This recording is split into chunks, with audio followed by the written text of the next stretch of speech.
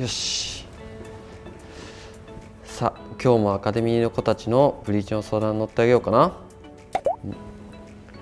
えー、ブリーチリタッチの塗り分けが難しいです。どうしたらいいですか？うん。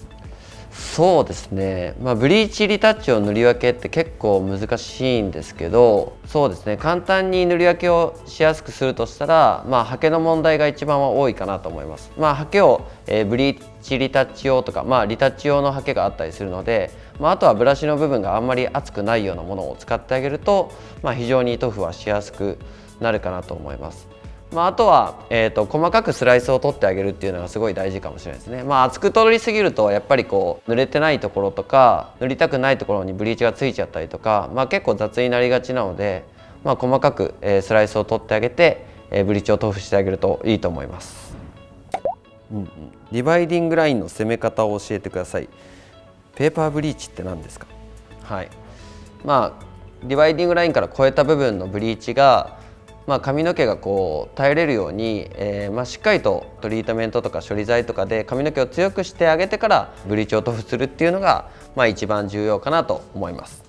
でペーパーブリーチっていうのは、まあ、そういったブリーチリタッチの技術をしやすくするのと、まあ、あとは、えー、1回のブリーチとかで、まあ、さらによりリフトするような形で、え、ペーパーを引く技術なんですけど、まあ、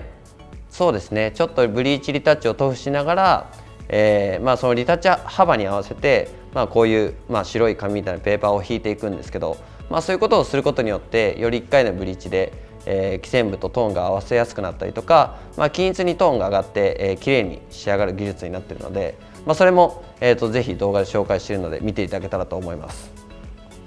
まあ、そうですね。本当にブリーチリタッチの質問がちょっと多いので、まあ、そこら辺で悩んでる子たちがすごい多いかなって思うので、まあ、今日は、えー、モデルさんをちょっと呼んで実践しようと思います。やってみます。とりあえず今日のモデルさんの、えー、ブリーチの、えー、履歴をちょっと説明したいと思います。まあ、大体ずっとハイトーンを続けられたモデルさんで、えー、今新生毛が大体こう2、3センチぐらいちょっと伸びてる状態です。で、まあ、よく見てもらえば分かるんですけど若干この3、4センチぐらいのところがえー、まあ18トンぐらいでさらにその毛先が0.5トンぐらい高いような形でちょっとダメージレベルも、えー、強いような状態になってます。でまあ質問でもあったように、えー、結構こういう状態での、えー、ブリーチの選定だったりとか髪の履歴の見極め方とか、まあ、あとはこうやって新生毛のところと、えーまあ、基線部の部分のそのダメージレベルの違いによってのそのブリーチの攻め方っていうのがありましたので、まあ、今日は、えーと最初にまあ根元をブリーチしていくんですけれどもまずはこのダメージレベルが高いところを、まあ、髪の強度を上げるためにトリートメントしてから、えー、ブリーチリタッチに移っていってダメージレベルを合わせつつ毛先をこれ以上傷めないように綺麗な、えー、ハイトーンにしていこうと思います。ろしくお願いします。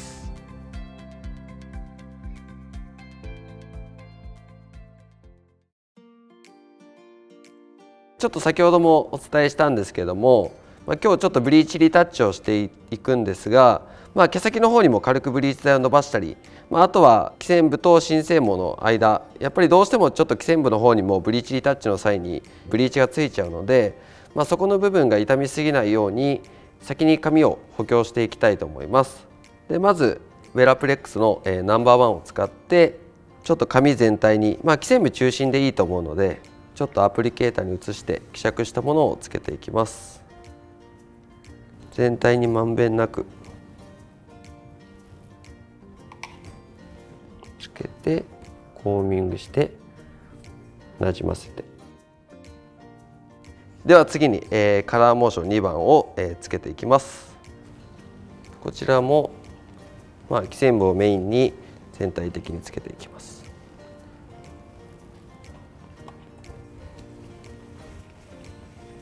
で、えー、続いて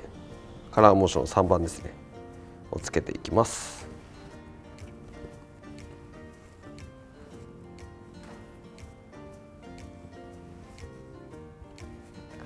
これでまあ全体に今処理剤とトリートメントをなじませたので、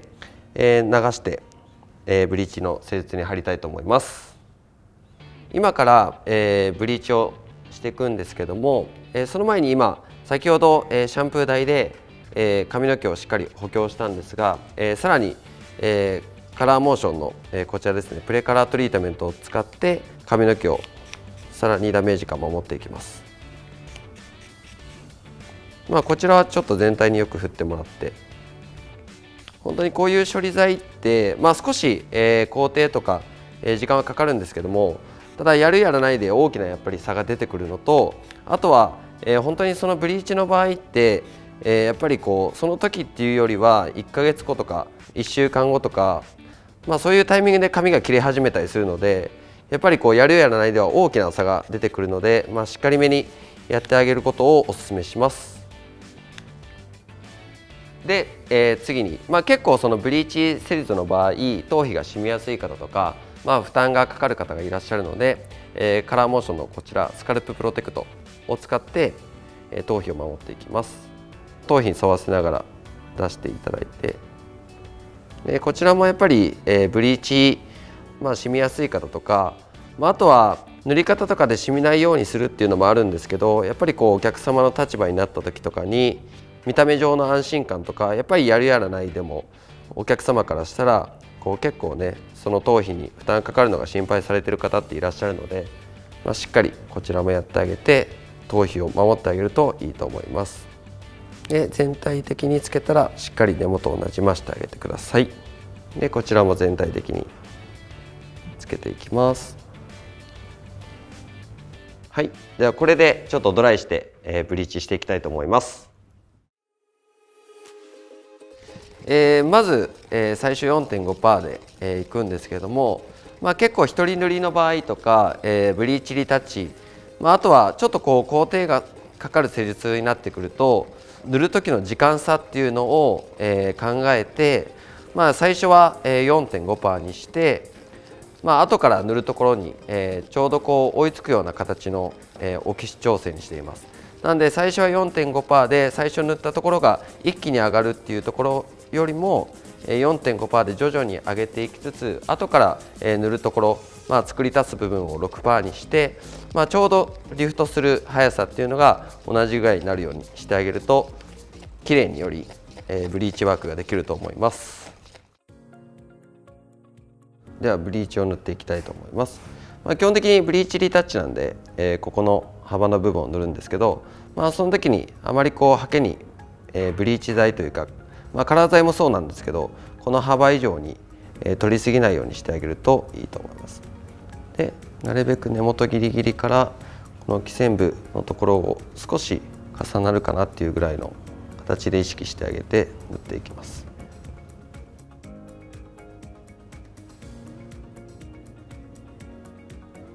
でワンブロックずついきます。でまずは、えーと、とブロッキングで縁取りだけしてその次に上からいきます。であの質問でもあったんですけども、えー、と塗り始める場所、まあ、基本的にはやっぱりこう後ろのバッグとか、えー、フロント前髪の部分の根元っていうのが明るくなりづらいので、まあ、まずはバッグの方から塗ってその後、えー、サイドに移っていきます。えっ、ー、とあのディバイディングラインまあここの基線部の部分にあまりこうブリーチ剤を攻めないようにえするんですけどもただ攻めすぎないと、えー、逆にこう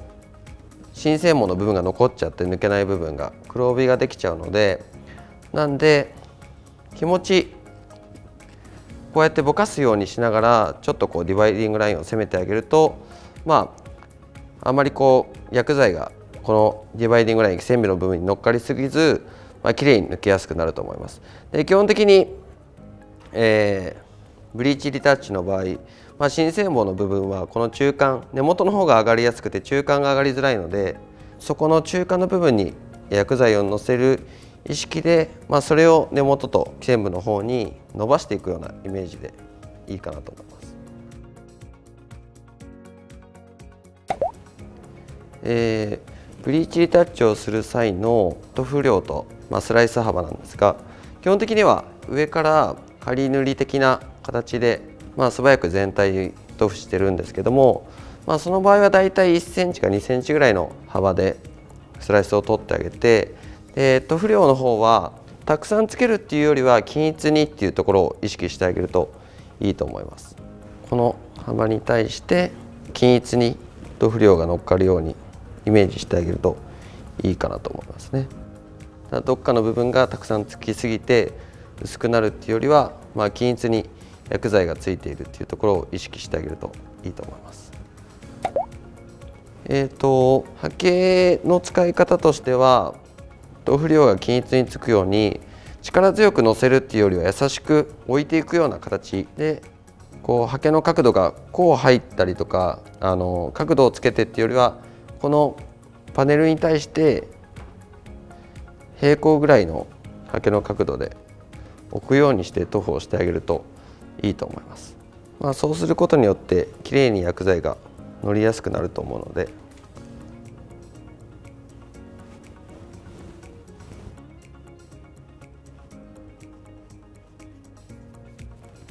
えー、今、えー、仮塗りで、えー、バッグを豆腐が終わったのでサイドに行きます。で、えーと、サイドなんですけどフロントと、えー、サイドをさらに細かく分けてあげた方がいいのでちょっと先にトップの方を乗せてこうフロントをちょっと下ろしてあげて顔側に。でそのままサイドだけをまず塗っていきます。でこの時にちょっとこめかみの部分まあ質問でもあったんですけどこめかみがやっぱりこう細い毛があってリフトしやすいので、まあ、その部分をちょっとどかしてあげるといいと思います。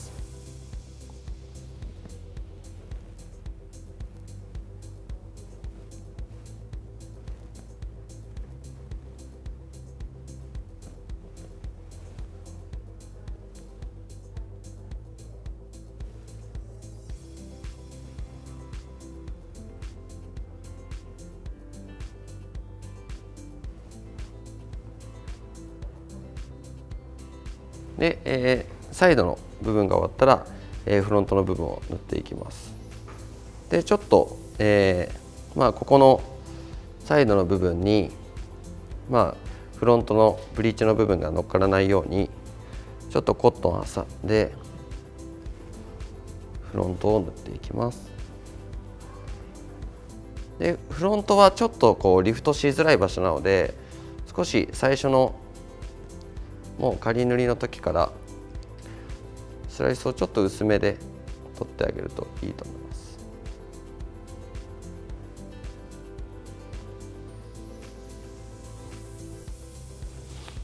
で、えー、とこれで逆サイドも同じように塗っていきます。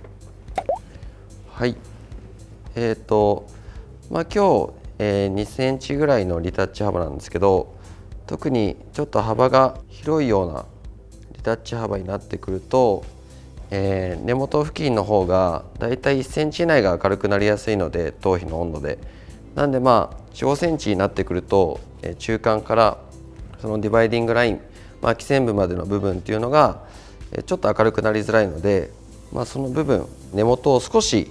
まあ、5ミリぐらいちょっと開けて、まあ、中間から、ブリーチ台を乗せるようなイメージでディバイディングラインまで伸ばすっていうようにしてあげるとまあ、少しそのロングの幅とかでも中間がしっかり上がってくれて根元付近がちょっとこう上がりにくいような、えー、施術内容になると思うので、まあ、少し根元を意識してあげて中間からブリーチ剤をのせるような塗り方をしてあげるといいと思います。でその際に今日はちょっとペーパーを使ったりするんですけどペーパーだと4 5センチの幅だとちょっと収まらないので、まあ、コットンや、えー、ホイールを使ってあげるとまあ、よりその上がりづらい部分が上がりやすくなったりするので、まあ、そういうリタッチアップに合わせて、まあ、コットンやホイールを使い分けてあげるといいかなと思います。はい、これで仮塗りが終わったので、えー、次にここからペーパーを、えー、引きながらさらにチェックしていきたいと思います。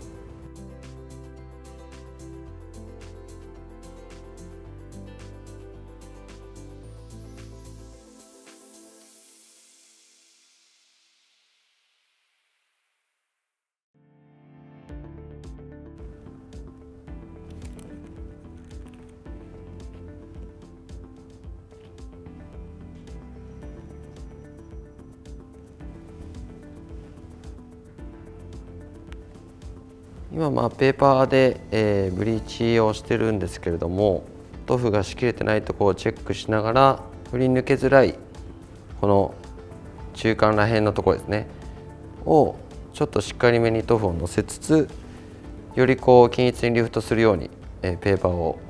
今挟んでいってます。で、まあ、その時のちょっと塗布量っていうのを、まあ、この中間のラインが、えー、厚くなるような形で塗布をしていってあげるとよりこう綺麗に明るくなっていってくれると思うのでで、まあ、この際に基本的にはそのペーパーを挟む意味っていうのはあの、まあ、その明るくなりづらい中間の部分と明るくなりやすい根元の部分のリフトを合わせるっていうところなので、まあ、例えばこのリタッチ幅が、えーまあ、質問でもありましたように、まあ、4センチ5センチとか、えー、まあさらにはこう10センチ以上とかになってくると、まあ、そのリタッチ幅に合わせたあの、えー、挟めるものっていうのが必要になってくるので基本的にはペーパーだと、まあ、大体3 4センチぐらいが、まあ、限界かなっていうところなので、まあ、それ以上になってくるとコットンだったり、えー、ホイールになってくるっていう形になると思います。なので基本的には、えー、ホイールとかコットンの使い分けっていうのは、え、まあそういうところにあるかなと思うので、ちょっとしっかりこう明るくしてあげたい幅とか、まあ、リタッチ幅をちょっとこう意識しつつ使うものを変えてあげるといいかなと思います。ペーパーを重ねていく時は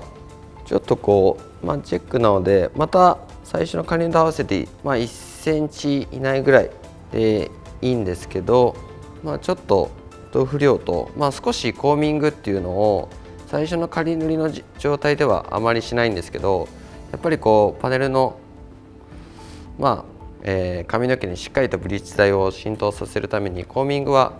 ちょっと数回はしてあげるといいと思います。あまり伸ばしすぎると線部の方につきすぎちゃうのでそこをちょっと注意してあげるといいかなと。でペーパーはあんまり強く本当にこう押するっていうよりは、まあ、優しくちょっと置くような意識でいいと思います。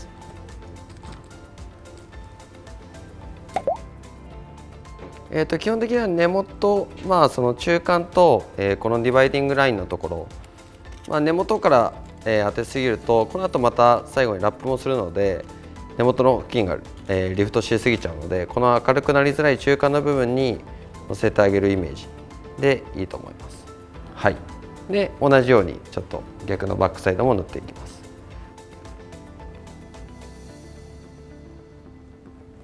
でサイドも後ろと同様なんですけど、えー、まあもう途中でブリーチ剤をちょっとサイドとかのタイミングで作り直してオキシを6%に今変えて投付してます。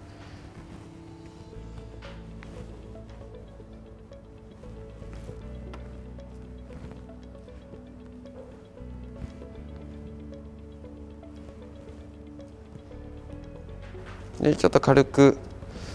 えー、仮縫いで塗ったところをコーミングしてちょっとこうリフトしてないところに中間部分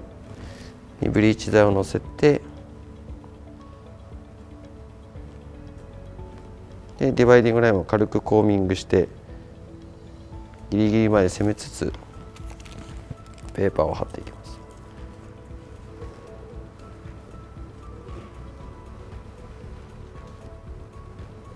この時もちょっとあの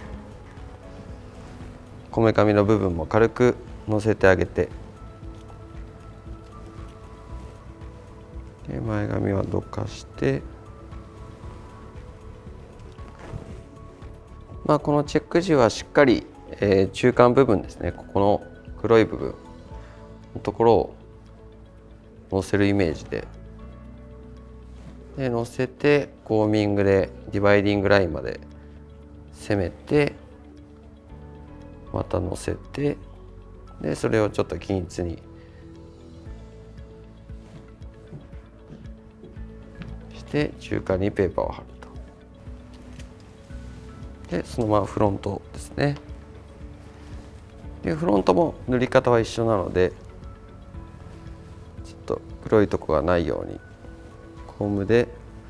調節しながら。はい。で今、えー、ブリーチの工程が終わりました。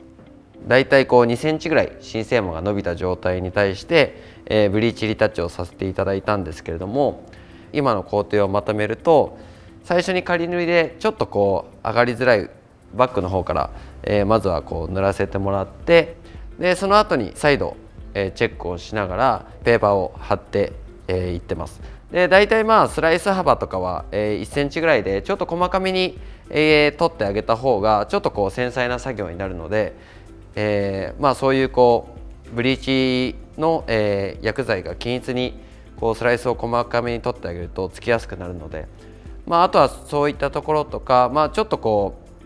うポイントとしてはやっぱりチェック時仮塗り時に、えー、特にこう根元のまあ、5ミリ以内ぐらいは頭皮の温度で上がりやすかったりするのでやっぱりこう中間部分と、えー、そのディバイディングラインの、えー、コームでちょっとぼかして繊細につなげるようなやり方、まあ、そういうのをちょっとこう注目してみていただけたら、えー、よりブリーチリタッチが、えー、うまくなると思うので、えー、よかったら見てください。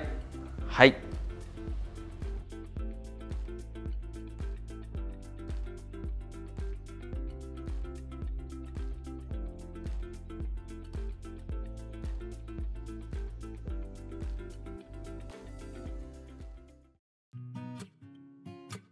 はい。だいたいこうブリーチ塗ってから、え20分ほど置きましたので、えー、どれぐらいリフトしてるかチェックしていきたいと思います、えー、パネル、まあ、どこでもいいんですけど見るポイントとしては一番最後に塗ったところとかの方がいいかなと思います。もう最初に塗ったところは、えー、基本的には最後に塗ったところよりも上がりやすくなってきてるので、まあ、基本的には最後に塗ったところを見てあげるといいと思います。で、えー、今だいたい塗ったところが、えー、トーンがこれぐらい、まあ、17トン17.5トンぐらい、えー、上がってきてる状態なので、まあ、これでもうブリーチの、えー、ベースの部分と明るさが合ってきてる状態なので流していきたいと思います。はい、えー、今ブリーチの工程が終わりました。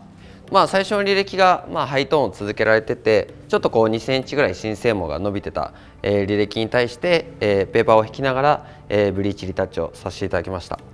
でここの根元の部分ですね、えー、しっかりペーパーを引くことによって、えー、リフトがやっぱりしやすくなるのと、まあ、あやってこう細かくしっかり丁寧に、え、スライスを取って、え、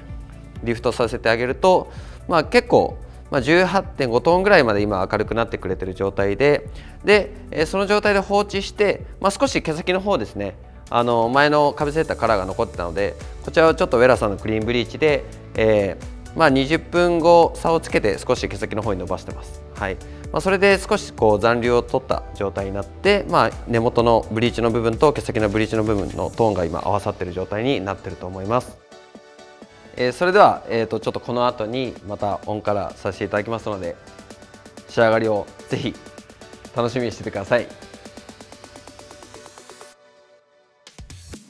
今回のレシピは KP プラスの10の1、10の16、10の95に、えー、10の96でオキシが、えー、AC2 杯になっております。はい、えー、これでブリーチリタッチの施術が終わりました。